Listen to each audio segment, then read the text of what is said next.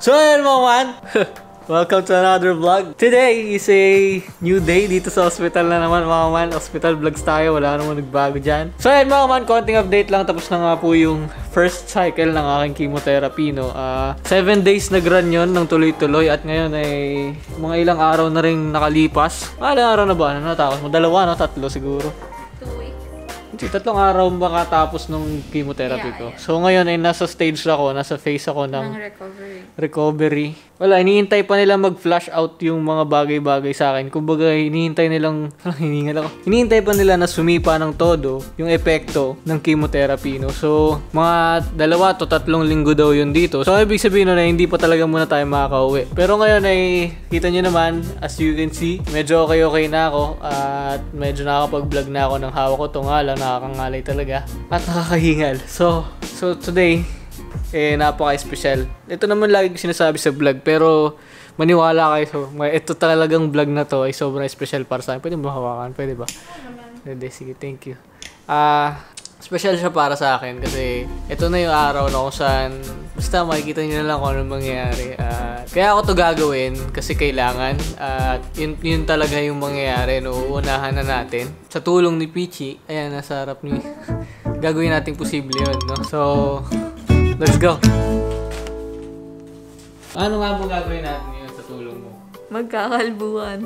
So, ayun guys, naglagay kami ng newspaper para, yun, para dun kumalat yung buhok, hindi dun sa lapag. So ayun mga man, ah, today, we officially decided na kalbuhin na to. Ah, yun din yung sabi ng doktor eh, makakalbo at makakalbo rin talaga ako. At saka ngayon, unti-unti na siya nangyayari. Ah, lalagas na yung buhok ko. Eh, yung buhok ni Erwan, kulot. Kala mo lagi bulbul yung nangyayari. Unti-unti na siya nagiging sagabal. Ayan, kung nakikita niyo yung kama ko dyan, ah, kada gigising ako sa umaga, eh, lagi na lang mayroong mga buhok-buhok na nandyan. Tsaka isa pa, yung pagkain ko, lagi na lang nalalaglagan ng buhok ko no, dahil bigla-bigla dahil, ayun nga, ah, madali na siyang maglagas. Tsaka kapag naliligo ako, eh, basta pag hinawi mo lang to, marami na talaga na sasama. Yung mga hawi, eh. Falling hairs. Ayan o, marami na. Hindi ko na nakita nyo, pero meron eh.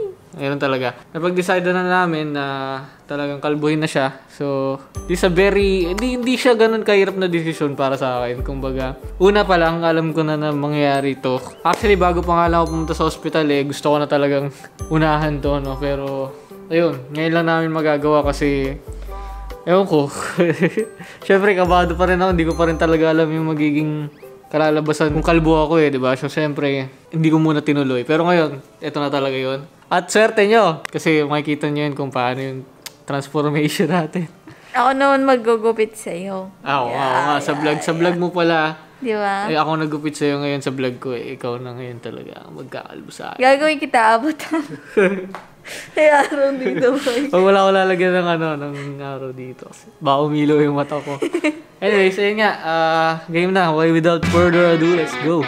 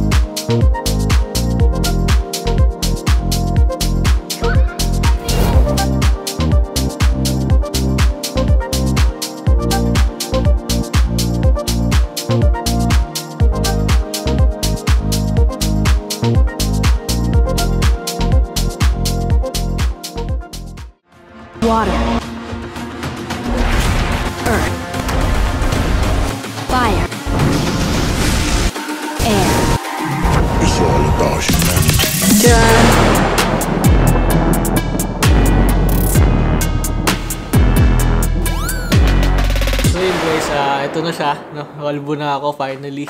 Medyo late na nang ginawa namin to. Kumbaga ilang araw ko rin kasi tiniis na hindi ako kalbo. Ayun, akala ko dati kapag nagka-cancer ka, automatic na magiging kalbo ka. Once na nakimo ka. Pero yun pala hindi, unti-unti pala siyang naglalagas. Tapos, ayun, ah i-advise na din ng doktor mo na talagang kalbuhin ka na.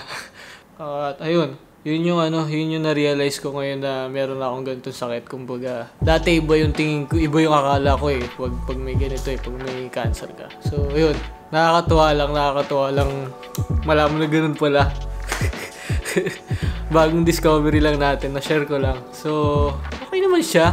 Kumbaga ako, hindi ko alam eh. Wala na rin ako naramdaman nung kinakalbo ako eh. Siguro, I mean, wala na ako naramdamang pagsisisi dahil siguro expected ko na siya na magiging ganito. Kumbaga, hindi man ngayon eh, magiging kalbo talaga ako dahil yun talaga eh, kasi kumahaba pa to eh, no? Kumbaga, ngayon first cycle yung natapos namin. Pero ayun, pag naka-recover na ako, ah, titignan nila kung ano na yung magiging next na gagawin, no? Kung magsi-second cycle ba o ipupush na yung transplant.